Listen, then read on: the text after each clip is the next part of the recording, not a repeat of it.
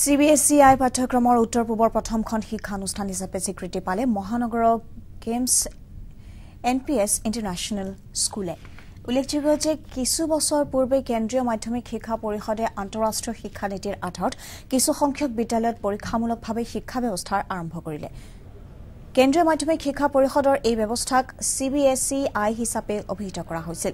প্ৰথমবাৰৰ বাবে গুৱাহাটীৰ কেমছ এন পি এছ স্কুলে উত্তৰ পূবৰ ভিতৰতেই এই শিক্ষা ব্যৱস্থাৰ ভিতৰত অন্তৰ্ভুক্ত হোৱাৰ সুযোগ পালে। আজি বিদ্যালয় চৌহদত এই উপলক্ষে এক অনুষ্ঠানৰ আয়োজন কৰে বিদ্যালয় কৰ্তৃপক্ষই এই অনুষ্ঠানত উপস্থিত থাকে ৰাজ্যৰ উদ্যোগ মন্ত্ৰী প্ৰদ্যুৎ বৰদলৈ অতিৰিক্ত আৰক্ষী আয়ুক্ত ভাস্কৰজ্যোতি মহন্ত তথা চি বি এছ ইৰ গুৱাহাটী সংমন্ডলেৰ বিষয়া কে কে চৌধুৰী।